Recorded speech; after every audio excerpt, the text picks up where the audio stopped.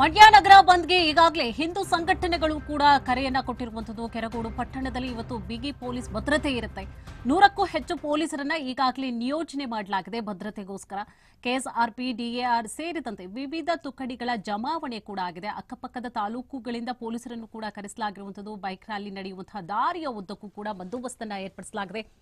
Mandya SP Yathish ಅವರ ಮಾರ್ಗದರ್ಶನದಲ್ಲಿ ಭದ್ರತೆಯನ್ನ ನೀಡಲಾಗಿದೆ.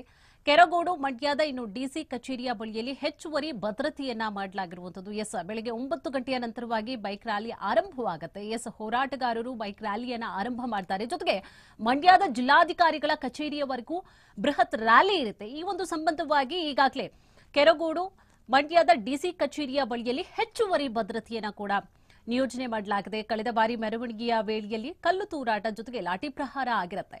ಹೀಗಾಗಿ ಯಾವುದೇ ಅಹಿತಕರ ಘಟನೆ ನಡೆಯದಂತೆ ಬಂದೋಬಸ್ತನ ಕೂಡ ನೀಡಲಾಗಿರುವುದು ಎಸ್, ಇವತ್ತು ಮಂಡ್ಯ ನಗರ ಬಂದ್ಗೆ ಕರೆಯನ್ನ ಕೊಟ್ಟಿರುವಂತದ್ದು ಹಿಂದೂ ಸಂಘಟನೆಗಳು. ವಿಶ್ವ ಹಿಂದೂ ಪರಿಷತ್ ಬಜರಂಗದಳ ಸಂಘಟನೆಗಳಿಂದಲೂ ಕೂಡ ಈಗಾಗಲೇ ಸಾಥ್ ಸಿಕ್ಕಿರುವಂತದ್ದು ಜೊತೆಗೆ ಶ್ರೀರಾಮ ಭಜನಾ ಮಂಡಳಿ ಸೇರಿದಂತೆ ವಿವಿಧ ಸಂಘಟನೆಗಳು ಕೂಡ ಇವತ್ತು ಸಾಥ್ ನೀಡ್ತಾ ಇದೆ. ನಗರದ ಅಂಗಡಿ ವ್ಯಾಪಾರಿಗಳಿಗೆ ಗುಲಾಬಿ ಹೂವನ್ನ ಕೂಡ ನೀಡಿ ಮನವಿಯನ್ನ ಕೂಡ ಮಾಡಲಾಗಿರುವಂತದ್ದು. ಜೊತೆಗೆ ಜನರು ಸ್ವಯಂ ಪ್ರೇರಿತರಾಗಿ ಬಂದ್ ಮಾಡಬೇಕು ಅಂತ ಹೇಳಿ ಕೂಡ, ಅದನ್ನು ಕೂಡ ಸ್ವಾಗತಿಸ್ತೇವೆ ಅಂತ ಹೇಳಿ ಈಗಾಗಲೇ ನಾಯಕರು ಮಾತನಾಡಿದ್ರು.